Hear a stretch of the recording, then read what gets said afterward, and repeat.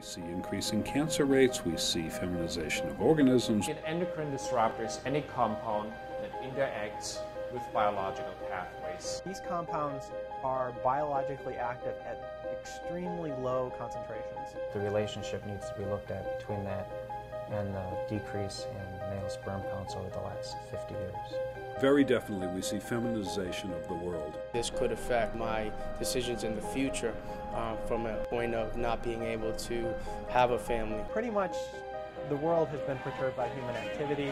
Are these enough to maybe tweak slightly fetal and embryonic development? I think humans should be caring about this. I mean, I'm willing to say that I think we have a problem looming.